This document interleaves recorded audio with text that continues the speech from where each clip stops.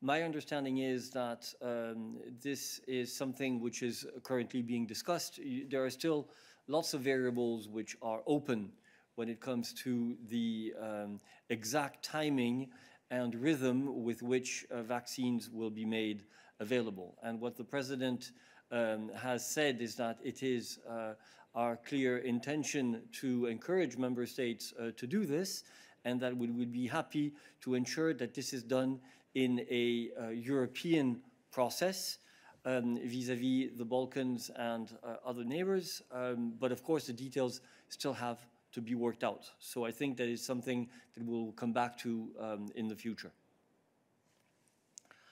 Are there other questions for us today on the issue of vaccination, vaccines, and more generally the health situation? Please only keep your hand raised if your question is on this.